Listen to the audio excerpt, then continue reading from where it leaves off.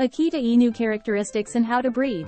The dog is an excellent representative of Japan and is loved for its distinctive appearance and loyal nature. The Akita Inu is medium to large in size, with supple muscles and a stout frame.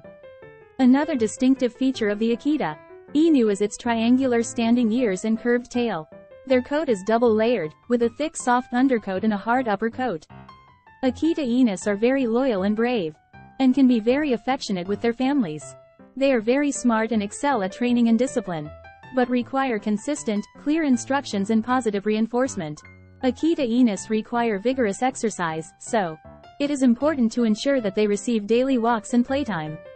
They are also not a social breed, and should be cautious in their interactions with outsiders and other dogs.